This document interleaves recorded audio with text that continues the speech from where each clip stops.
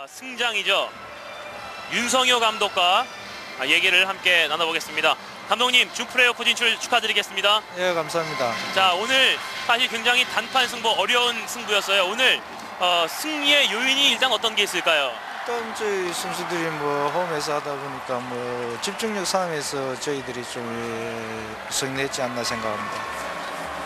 자, 아, 오늘 승리 축하드립니다. 신현호 네. 의원입니다. 그래서 오늘 그 감독이 생각하시기에 오늘 전체적으로 선수들의 어떤 경기의 내용의 어떤 만족도는 어느 정도 생각하십니까? 아, 제가 뭐 전반전에는 내용이 좋았는데요. 후반전에는 저희 선수들이 조금 어, 플레이가 어, 패스 미스가 좀 많은 것 같고요. 날씨 날씨에 좀 음, 영향도 있지 않나 생각합니다.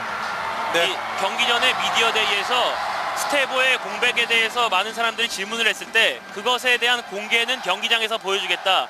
자 그러면 지금 경기 후에 어, 그것이 공개가 됐는데 어떤 식으로 좀 설명을 다시 해주실 수가 있을까요? 뭐 하태균 선수가 저희가 뭐 오늘 에, 해결해 주리라고 좀 믿고 있었고 해- 하태균 선수가 스태프 자리를 잘 메워줬다고 생각합니다. 네 마지막으로 많은 팬들에게 한 말씀 부탁드릴게요. 어, 팬 여러분께 뭐 많은 성원이 감사드리고요. 어, 다음 울산전 또팬 여러분이 운동장을 많이 찾아주시면은 좋은 경기로 보답하겠습니다. 네준 플레이오프도 기대하겠습니다. 예, 감사합니다. 축하드리겠습니다. 예, 예.